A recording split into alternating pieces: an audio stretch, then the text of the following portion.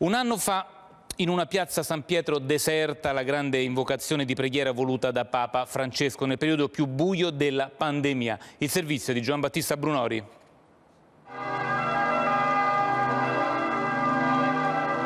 La benedizione del Papa in una piazza desolatamente vuota, il silenzio rotto dalle sirene delle ambulanze, riportano la memoria al periodo più buio del lockdown, esattamente un anno fa.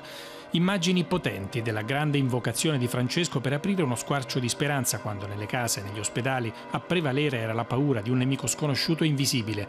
Il Papa si muove da solo, sotto la pioggia, raggiunge il luogo dal quale rivolge il suo messaggio. Si sente nell'aria, si avverte nei gesti, lo dicono gli sguardi. Ci siamo trovati impauriti e smarriti.